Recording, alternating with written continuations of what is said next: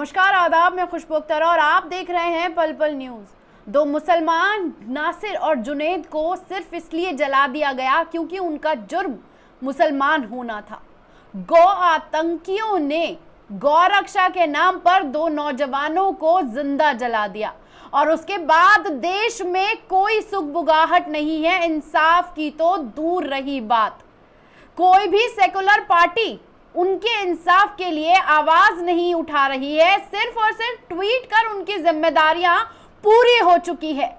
और गोदी मीडिया की तो बात ही क्या करें, जो खुद मोनू मानेसर की तरफ़ से बैटिंग करता हुआ तमाम वो सबूत सोशल मीडिया पर रख रहा है, जिसमें सिर्फ़ ये साबित होता दिखता है कि मोनू मानेसर एक ऐसा देवता है जो गौ रक्षक है। और अगर वो नहीं होता तो गायों की रक्षा नहीं होती। लेकिन सच्चाई पूरी तरह से इतर है दोस्तों, क्योंकि देश में चाहे नेताओं ने चुप्पी साध ली हो या फिर गोदी मीडिया ने गोद में बैठकर मोनू मानेसर की जय, मोनू मानेसर की जय करना शुरू कर दिया हो। लेकिन सच बोलने वाला मीडिया अभी भी ज़िंदा है।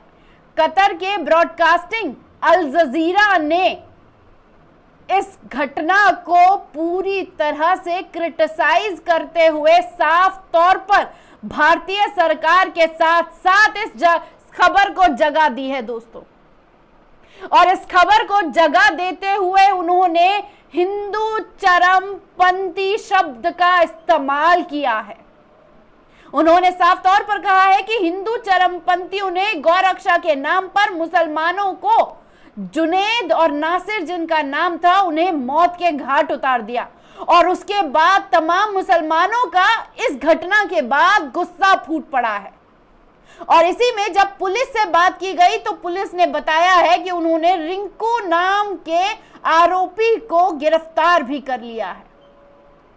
अल जजीरा ने इस खबर को पूरी तरह जगह देते हुए यह भी साफ़ कर दिया है दोस्तों, कि जिस तरीके से मोनू मानेसर को बचाने के लिए तमाम लोग फ्रंट फुट में बैटिंग कर रहे हैं, वो किस तरीके से इंसानियत के दुश्मन है दोस्तों? और इस इंसानियत के दुश्मनों का एक वीडियो सोशल मीडिया पे वायरल हुआ है, जहाँ पर वो मोनू मानेसर को बचाने के लिए रैली निकालते हुए नज़र आ रहे हैं। और तो और पुलिस को धमकी दे रहे हैं, अगर पुलिस उसके घर पर आई तो वो अपने पैरों पर नहीं जाएगी।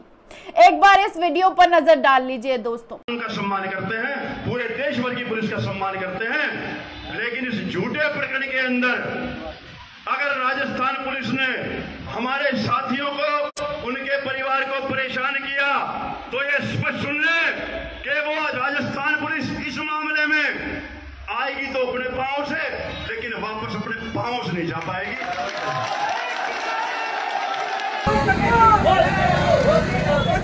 होश में आओ होश में आओ। राजस्थान सरकार होश में आओ होश में आओ। मस्ती बेटी करे पुकार बंद करो ये बेटी करे। बंद करो ये अत्याचार बंद करो ये अत्याचार राजस्थान सरकार मुर्दाबाद मुर्दाबाद राजस्थान सरकार मुर्दाबाद मुर्दाबाद मोनू तुम संघर्ष करो हम तुम्हारे साथ हैं मोनू तुम संघर्ष करो हम तुम्हारे साथ हैं मोनू का निर्दोष है निर्दोष है निर्दोष है दूसरे किसी को की ये जो हमारा एक मिनट एक मिनट बाद हमारा असिस्टेंट बताया हुआ है इन्होंने। अगर ये नहीं होगा तो हम यहाँ रह नहीं सकते। मैं आपको हकीकत बता रहा हूँ कि अगर विश्व हिंदू परिषद, आरएसएस या ये जो संस्थाएँ हैं, ये ना हो तो हम यहाँ रह नहीं सकते।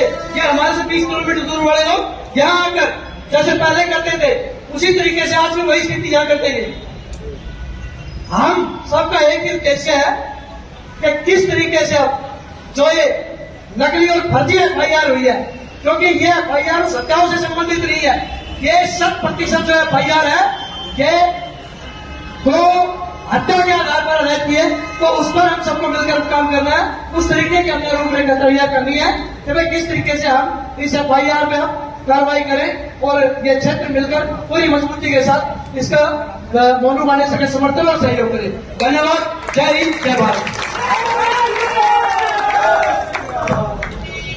तो आपने देखा ये वीडियो, इस वीडियो को देखकर आपकी आँखें शर्मसार हो गई होंगी कि जिस तरीके से जघन्य अपराधी को बचाने के लिए तमाम हिंदूवादी संगठन सड़कों पर उतरकर पुलिस को धमकी दे रहे हैं तो इस देश की न्यायपालिका का क्या हश्र हो चुका है, वो मुझे आपको बताने की ज़रूरत नहीं है। लेकिन जिस तरीके से दो मासूम नौजवानों को सिर्फ़ इसलिए मौत के घाट उतार दिया गया कि उनका जुर्म सिर्फ़ मुसलमान होना था। आरोप यह लगाया कि वो गौ तस्कर करते थे। और गौ तस्कर की सजा तो मौत ही हो, हो सकती है। ये खुद हिंदूवादी संगठनों के तमाम वो वीडियो सोशल मीडिया पे तैरते हुए बताते दिख रहे हैं। लेकिन जब मेवात के बेटों को मौत के घाट उतार दिया गया और पुलिस का रवैया पूरी तरीके से सामने आया है दोस्तों। तो उसके बाद मुसलमानों ने महापंचायत लगाकर इंसाफ की गुहार लगाई है। सत्ता से सवाल पूछा है कि कब तक हमारे बेटों को इस तरीके से ये तमाम लोग निशाना बनाते रहेंगे। एक बार इस वीडियो पर नज़र डाल लीजिए। एक करोड़ रुपए मिला था टाइम था ना? सरकारी नौकरी मिली उसके लिए। क्या बीस लाख रुपए? एक करोड़ रुपए। क्या है बीस लाख रुपए? बताइए हमें। बीस लाख रुपए क्या मायने रखते हैं? क्या पुलिस उन मुलजिमों को देगी हमारे लिए? हम बीस बीस लाख रुपए प्रति मुलजिम देंगे। पुलिस मेरे हवाले करे उन मुलजिमों को। अब मैं देता हूँ हर मुलजिम का बीस लाख रुपए। अगर इंसान की कीमत पैसे के बदले में है तो पुलिस मुलजिमों को लाए हमारे हवाले करे। बात यह है जिसको दफनानी, वो सामने आके कहे, मेरे सामने कौन कहेगा? किसको दफनानी है, डेड बॉडी किसने ऐलान कर दिया? क्यों कर दिया डेड बॉडी का ऐलान? है? किसका अधिकार है डेड बॉडी को दफनाने का? मैं बराबर का भाई हूँ। लोगों ने जानकारी देते हुए बताया कि बजरंग दल के सदस्यों का पहला मामला नहीं है। बजरंग दल के सदस्यों ने यहाँ पर कई बार आतंक मचाया है लेकिन प्रशासन ने उनके खिलाफ कोई कड़ी कार्रवाई नहीं की इसीलिए उनके हौसले बुलंद है। गुलाम पुलिस की साजिश है इसमें। गुलाम पुलिस हरियाणा के साथ मिलकर ये काम करा रही है। क्या आप लोगों को मैं पागल नज़र आ रहा हूँ? कल को आपके भाई के साथ में घटना होगी। कल को मेवात का कोई भी आदमी आपके पास में नहीं जाएगा, क्योंकि आप लोगों के हाथ से विश्वास उठ चुका है। आप लोगों ने विश्वास खो दिया है।